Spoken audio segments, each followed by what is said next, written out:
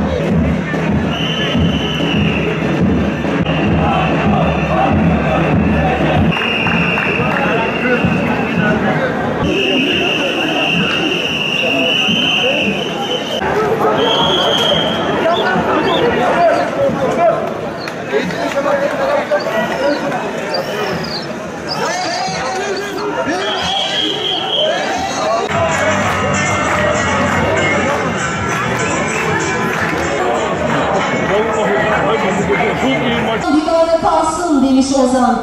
O divan sensin artık.